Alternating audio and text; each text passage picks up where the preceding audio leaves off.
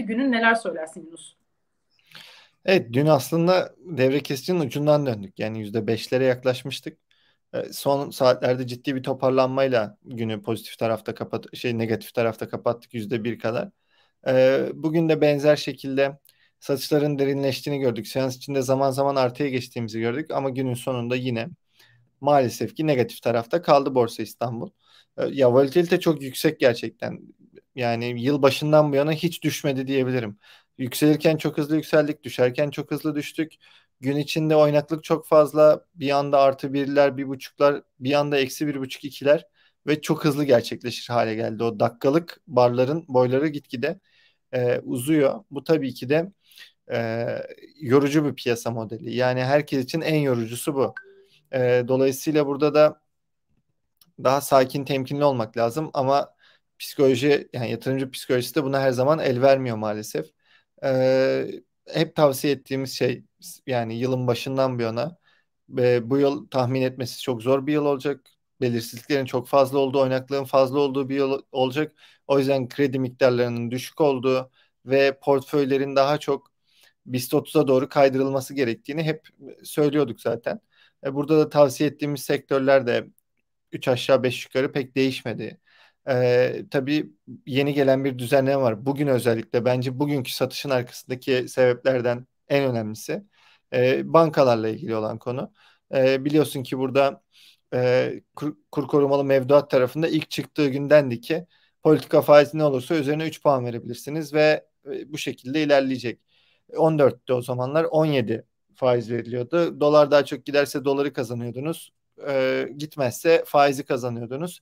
Sistem bugüne kadar böyle devam etti. Ama bugün itibariyle dendi ki politika faizde 9 e, artı 3 puan 12 veriyordu bankalar.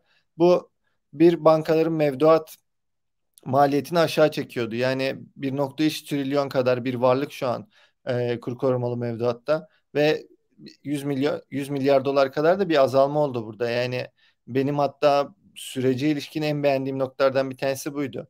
Faizi çok düşük kaldı, kur sabit ve artık insanlar dövizin yükseleceğine inanmıyor. Dolayısıyla buradan vadesi dolan yavaş yavaş çıkmanın e, yoluna bakıyor gibi bir yorumum vardı. E, bugüne kadar da bu çıkışlar gerçekleşmişti aslında bir miktar. Ama bugünden sonra rekabet tamamen kızıştı piyasada. Buradaki rekabetten kastım bir bankalar arası rekabet. Çünkü e, bu mevduatı kimse kaybetmek istemeyecek. Dolayısıyla kur korumalı mevduata verilen TL faizi yukarı gelecek. Bu bankaların maliyetini yukarı çekecek. Zaten bugünkü satışta da bankaların negatif ayrıştığını görebiliyoruz. Yani endekse negatif etki edenlere de baktığımızda bankaların daha ağırlıklı tarafta olduğunu görüyoruz. Mesela bugün en çok düşenlere bakıyorum. TSKB 3. sırada, Akbank 5, Halkbank 6, Garanti 7.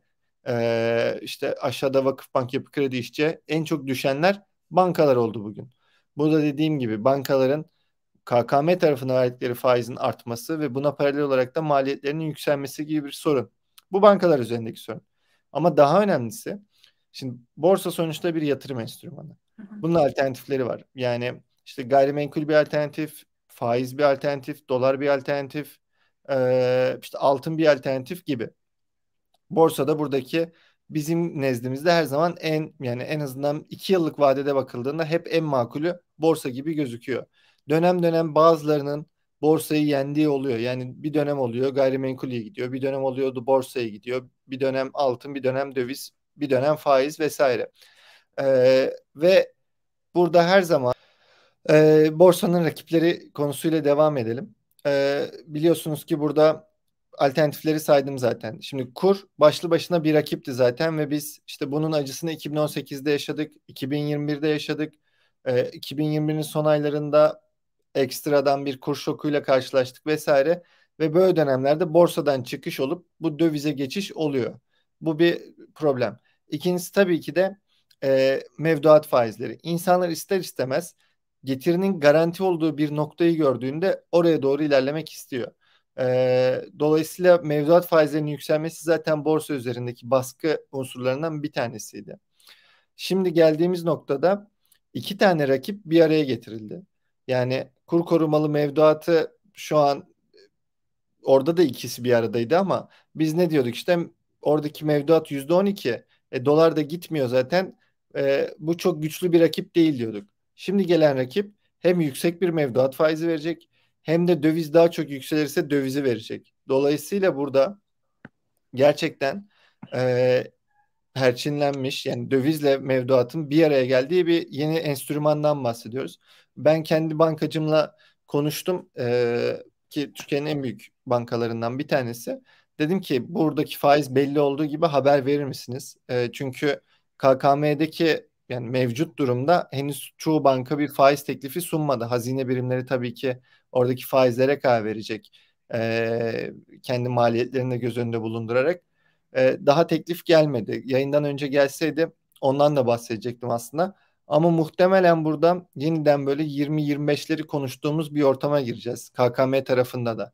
E, muhtemelen TL mevduat faizleri bir miktar aşağı gelecek. 30'lardan belki bir miktar daha. Çünkü burada daha cazip bir ürün var. Dolayısıyla buraya çekmek isteyeceklerdir e, kitleyi ve maliyeti de diğer taraftan düşürüp buradaki artışı da bir şekilde bankalar dengelemeye çalışacaktır diye düşünüyorum. Bu söylediğim bir düşünce böyle olmayabilir. Belki KKM'de de faizler 30'a çıkabilir. Aynı TL mevduatta olduğu gibi. Ama benim düşüncem KKM tarafında birazcık daha düşük olduğu mevduat faizlerinde bir miktar daha aşağı geldi. Dolayısıyla bankanın da KKM'de kaybettiğini e, TL mevduattan kazanmaya çalıştığı e, yine belki bir miktar e, sınırlı da olsa negatif etkilendiği ama bunu bir şekilde yedirmeye çalıştığı bir e, ortam yaratılır diye düşünüyorum. Ama sonuç olarak bu borsanın geneli için problem. Yani şimdi 2022 inanılmaz iyi geçti. Borsa 3'e katladı. Portföylerin çoğu 5'e katladı, 6'ya katladı. İşte iyi yönetmeyenler bile parasını 3'e katladı. Ee, böyle bir ortamda herkes parasını korumak istiyor. Ve parayı korumak dediğiniz şey aslında enflasyonu yenilmemek kimisi için. Kimisi için döviz bazlı e, aynı paraya sahip olmak. Yani bugün 100 bin doları varsa o 100 bin doları kaybetmemek, dolar bazlı olarak kaybetmemek. Siz şimdi öyle bir ürün veriyorsunuz ki e, bu kitleye. E, dolar yükselirse dolar, e, yükselmezse faiz ve çok kötü bir faiz de değil. Ben size artık %25'leri belki belki hatta 30'ları dediğim gibi e, vereceğim diyen bir yapı olursa borsadan da çıkış olması e, beklenebilir. Bence satışın arkasındaki diğer bir sebep de buydu. Yani satışın genele yayılmasını sağlayan. Ama şimdilik tabii ki de daha çok e, bankalar tarafıyla sınırlı kaldı. E, tabii işin bir de şu yüzü var. İnsanlar borsada o kadar hızlı ve kolay şekilde para kazandı ki özellikle ikinci yarıda %25-30 faiz kolay ikna da edemeyebilir. Bu da bir görüş. Bunu da göz ardı etmemek lazım. Çünkü ayda %30'ları gördük biz. Ekim Kasım'da. Ve o ayları yaşayan insanlar e, şimdi %30 yıllık mevduat var diye gelmeyebilir. Hala çünkü enflasyon yıl sonunda 40'ların üzerinde bekleniyor.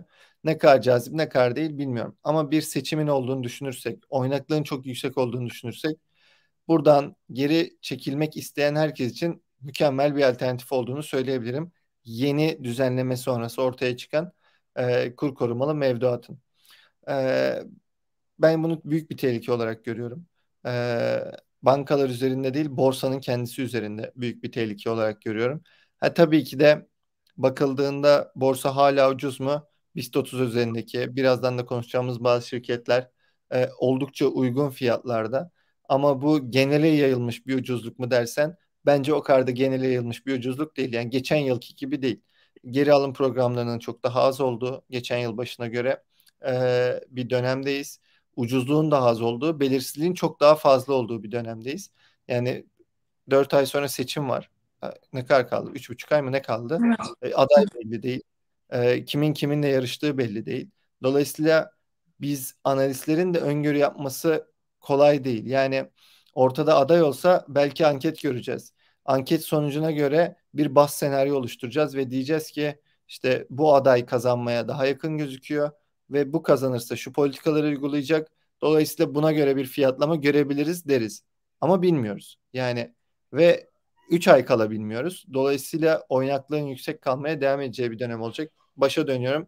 Dediğim gibi krediden uzak, e, vadeli işlemler tarafında kaldıraçtan uzak, e, bir dönem ya da işte daha güvenli sayılabilecek BIST 30 şirketlerinde e, yatırımın yoğunlaştığı bir dönemi herkese tavsiye ettiğimi söyleyebilirim. Piyasayla ilgili yorumum bu kadar. Peki ben bir kısmını kaçırdım ama